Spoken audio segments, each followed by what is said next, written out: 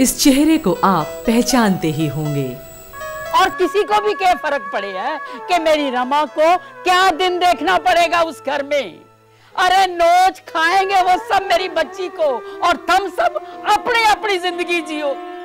अरे अरे जाओ मेम साहब मारे को अपने हाल पे छोड़ दो।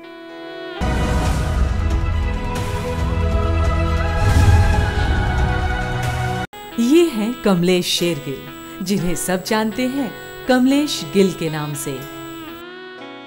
साई हूँ थारी। जिन हाथों से थारा जन्म कराया उन्हीं हाथों से बलि चढ़ा दूँगी।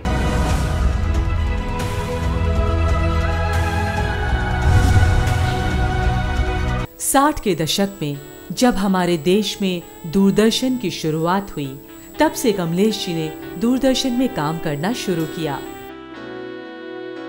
इससे पहले वो हिंदी और पंजाबी नाटकों के मंच पर धूम मचाती रहीं।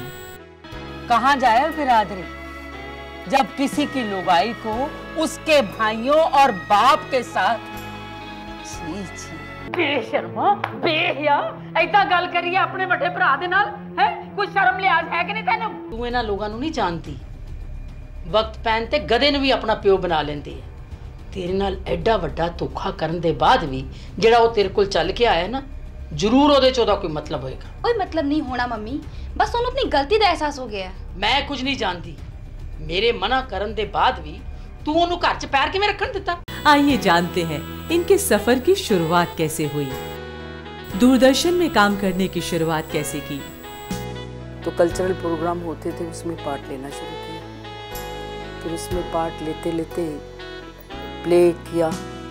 पहले, मेरे करने से पहले एक और लड़की थी, उसको ट्राई कर रहे थे। तो कुछ ठीक नहीं बोल रही थी। तो मैं उसको कह रही थी, ऐसे नहीं बोलो, ऐसे बोलो। तो my husband was overhearing it said आप उसको कह सकती हो तो खुद नहीं बोल सकती? और उसके बाद वो लग गया चूना।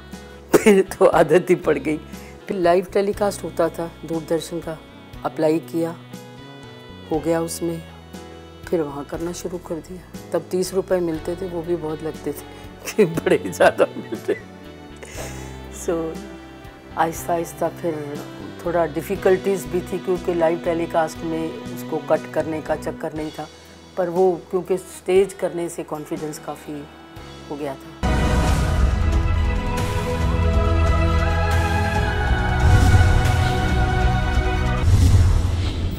अच्छा परिवार के क्या रिएक्शन थे? जॉब तो करती थी रेलवे में साथ में ये भी करती थी।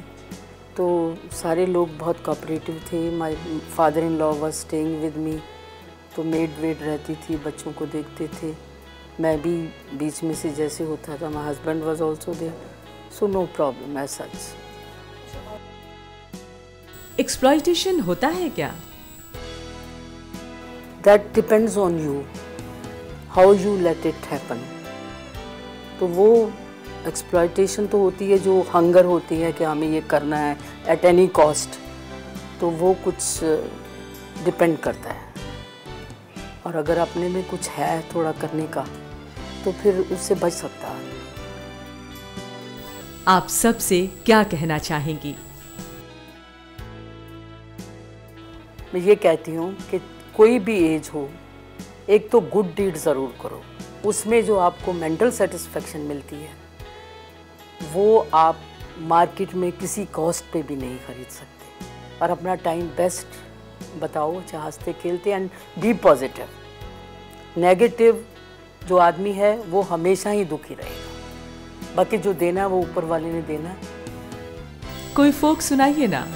केड़ी वे तेरे नाल परावां दी जोड़ी वे लटके दे वाल सुने दे ਵੇ ਜਿਵੇਂ ਬੀਬਿਆ ਕੋੜੀ ਚੜਿਆ ਤੇਰੇ ਪੁੱਤ ਦੀ ਮੈਂ ਨਾਰ, ਤੇਰੇ ਘਰ ਦਾ ਸਿੰਗਾਰ, ਕਾਨੂੰ ਖਾਨੀ ਐ ਮੇਰੇ ਨਾਲ ਖਾਰ।